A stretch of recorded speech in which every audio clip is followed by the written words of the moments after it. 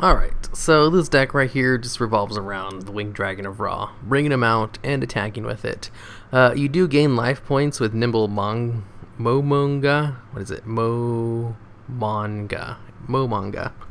When he's destroyed, you gain 1,000 life points. So you have the potential to gain 3,000 life points right here, which is pretty good for Winged Dragons of Ra effect, where when he's brought out, you can pay all your life points to gain all that amount of attack and just attack directly for game.